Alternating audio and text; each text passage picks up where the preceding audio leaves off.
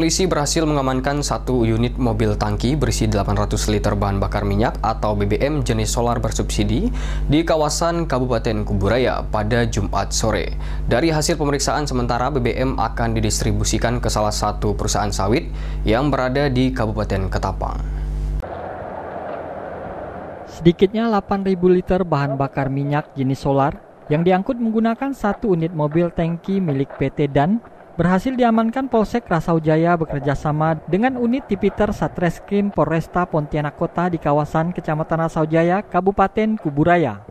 Dari hasil pemeriksaan sementara, PT DAN telah melakukan niaga perdagangan migas terbatas dengan modus niaga umum, sehingga menyalahi perizinan yang berlaku.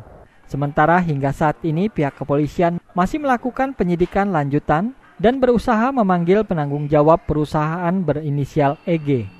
Kasat Reskrim Polresta Pontianak Kota Kompol Muhammad Husni Ramli minggu siang mengatakan, dari awal proses penyidikan hingga saat ini, pihak perusahaan yang dimaksud yaitu PT DAN belum menghadiri pemanggilan yang dilayangkan oleh pihak kepolisian. Jika pemanggilan kedua tidak juga menghadiri, maka pihaknya akan melakukan upaya paksa. Untuk saat ini kami menggunakan atau pasal yang kami sangkakan yaitu pasal 53 Junto pasal 2 eh, pasal 23 Undang-Undang Migas ancaman hukuman 3 tahun dan denda 30 miliar.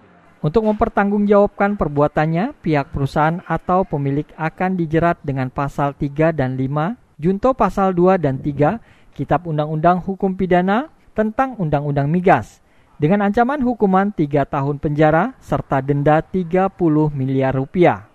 Dari Pontianak, Uun Junior melaporkan.